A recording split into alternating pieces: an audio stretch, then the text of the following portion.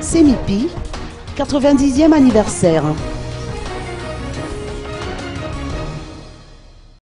La cérémonie de commémoration du 90e anniversaire de l'école d'enfants de troupe, CEMIPI, s'est déroulée le 24 mai dernier sur la place d'armes de l'établissement Sekul Milan Pyrénées de Berav Nafianarantso.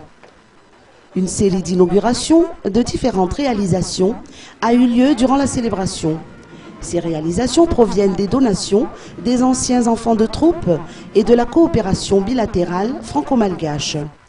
Cette coopération a également permis d'améliorer la formation et le cadre de vie des élèves de la CEMIPI.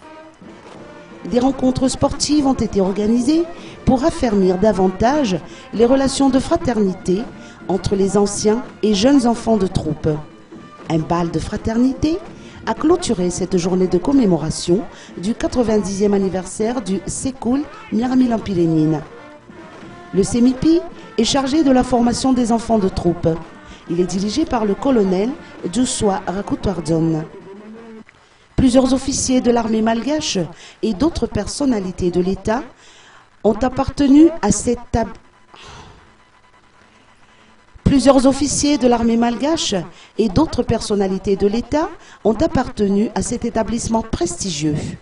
Son rôle est de préparer les enfants de troupe à la vie militaire, de les éduquer et de les enseigner jusqu'au baccalauréat et de préparer les bacheliers au concours d'entrée à l'académie militaire ou dans d'autres écoles.